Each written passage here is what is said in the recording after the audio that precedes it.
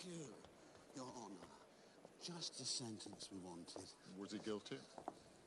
Well, if he didn't do it, he's surely done something to warrant a hanging. What man has not? Sorry? No matter. Come. Walk home with me. I have news for you, my friend.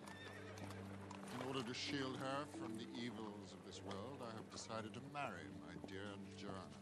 Oh, sir, happy news indeed. Strangely, when I offered myself to her, she showed a certain reluctance. Excuse me, my lord, may I request, my lord, permission, my lord, to speak? Forgive me if I suggest, my lord, you're looking less than your best, my lord. There's powder upon your vest, my lord, and stubble upon your cheek.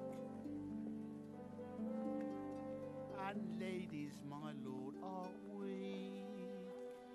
Stubble, you say? Perhaps I am a little over hasty in the mornings. Fret not though, my lord, I know a place, my lord, a barber, my lord, of skill.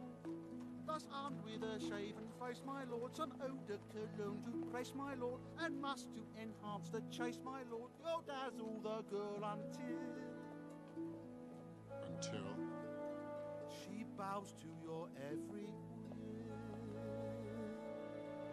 Barber. Take me to it. His name is Todd, my lord, and he is the very last word in barbers